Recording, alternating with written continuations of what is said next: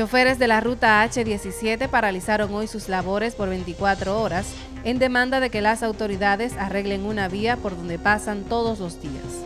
Luis Manuel Rosado, vocero de los choferes, explicó la situación.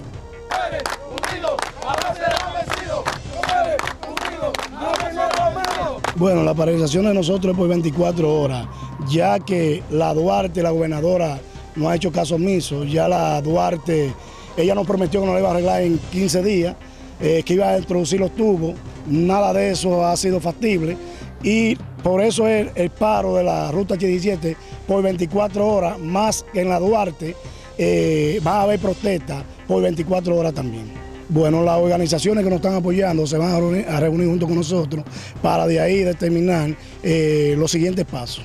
NTN y Dalmis Arias.